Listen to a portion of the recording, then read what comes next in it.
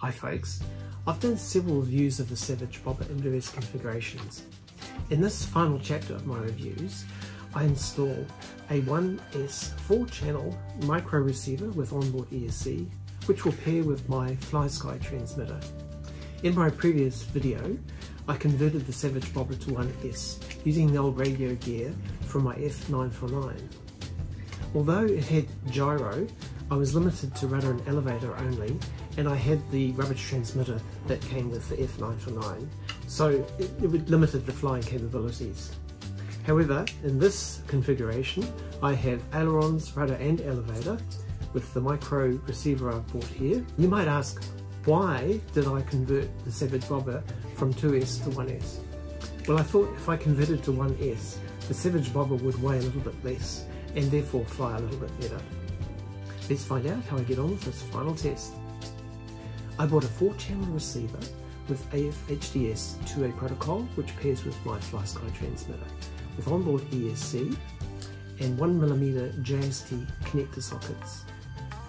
It's an MA RX42-A 2.4G from AliExpress and it came in at under $25 including postage. This tiny receiver just about fits on my thumbnail. I also bought a 10 pack of male and female JST 1mm connectors. I just had to solder on a connector for the battery and another connector for the brushless motor.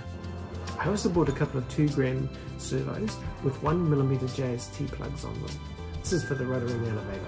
I connected everything up with a fine tip soldering iron. Everything bench tested okay until I connected up the ailerons in a Y configuration. Now the wires and plug that I got from AliExpress had swapped the red with the black so when I connected it up it nearly cooked the receiver. Fortunately I had some information on this and I was able to connect it up correctly and get it all working on the bench. This is how it should be wired up. I installed the radio gear in the bobber and did some thrust tests and this is how it came out. Now, I was expecting the bobber to be lighter with the 1S configuration. However, somehow over time, the Savage Bobber has gained a bit of weight.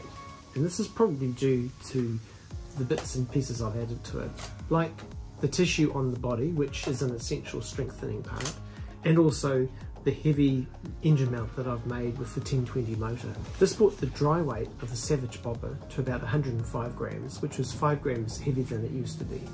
Here is a table of the static thrust and weight with the three 1S batteries that I used with the Savage Bobber. This is roughly the same as I had with the F949 receiver and the 500mAh battery, but about 6 to 8 grams less for the smaller and the larger batteries. Could be the ESC or the long wires that I've used to connect up the motor. So I'd expect roughly the same performance as my last flight test, except this time I'm going to have a much better transmitter and I will have ailerons as well as rudder and elevator. Let's see how the Savage Bobber went in the field. I am here at the park to try out the 4 channel 1S conversion of my Savage Bobber. No takeoff from the ground today. So I had to settle for a hand launch. I got a bit of attention from the local bird life, but that later on settled down.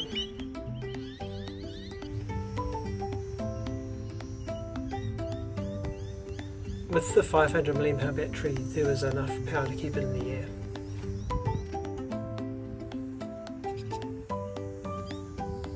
But it wasn't that exciting to fly. This is the bobber throwing a tantrum. We'll try the 800 mAh battery now.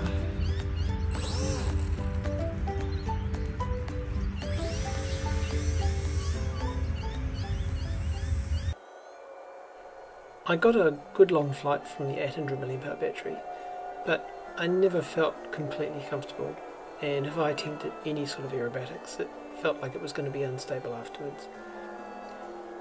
I guess my hopes of the bobber floating around the sky in a nice stable fashion after reducing the weight and simplifying it to 1S uh, are now gone. So I guess this is probably the last flights I'll have with this little airframe before I uh, decide what I'm going to do with it next.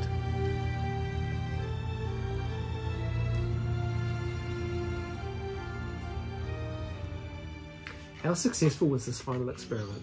Well, I managed to test out my new 4-channel micro receiver in the Savage Bobber. The Bobber did fly with 1S, however it's not a very efficient flyer and glider. Also, I didn't build it particularly straight, so I think I'll relegate this airframe to a static display from now on. What's next for Dave's Fun RC? Well, I recently made a trip to New Zealand to visit the aeronautical engineer in the family. He gave me all sorts of gen on how to build planes from scratch. I've been gathering plans and building tools and getting ready to build some new planes of my own.